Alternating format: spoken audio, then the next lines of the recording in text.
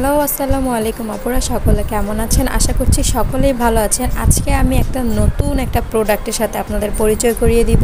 এই প্রোডাক্টটা অনেকেই চেনেন, আমি জানি এটা অনেকেই ইউজ করে ফেলেছেন এবং এটা এখন অনেকেরই মোস্ট ফেভারিট একটা প্রোডাক্ট হিসাবেই তাদের তালিকায় আছে, সেটাও আমি জানি।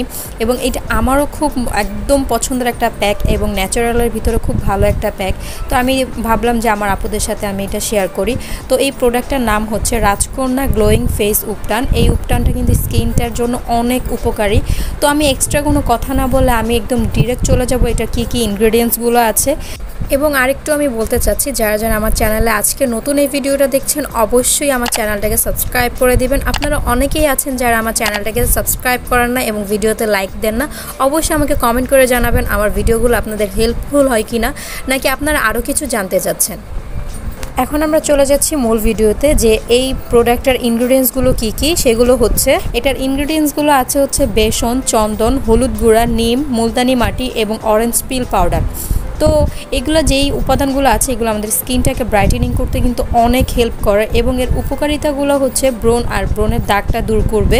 আপনাদের স্কিনে যদি গ্লোয়িং কোনো ভাব না থাকে, তাহলে গ্লো করতেও সাহায্য করবে এবং স্কিনের যে ইনফ্লামেশন আছে, সেটাও অনেকের দূর করে এবং এখন যেই হচ্ছে সামার সিজন এই সামার সিজনে হচ্ছে অনেকের স্কিনে হচ্ছে সানটাইন পড়ে যায়, রোদে পোড়া ভাবটাও কিন্তু এই প্যাকটা ইউজ করলে কিন্তু একদমই গায়েব হয়ে যায় এবং যাদের ব্রণেরও দাগ আছে, সহজেই যাচ্ছে না, তারা এটা ইউজ করে দেখতে পারেন।